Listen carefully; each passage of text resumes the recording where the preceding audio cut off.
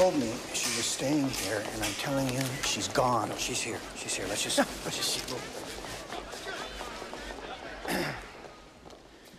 Morning. Morning. Well, you all know that I've just ordered the borders of Idaho to be closed.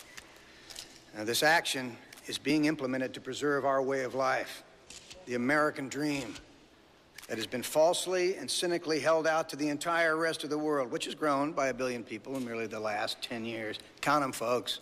One billion. Standing room only from Maine to California.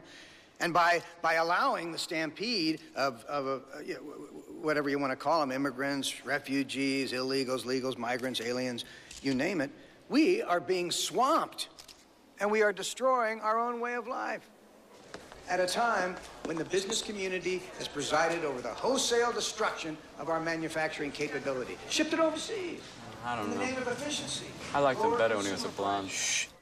We are told that we have to stand by and let the rest of the world flood into America. Stay with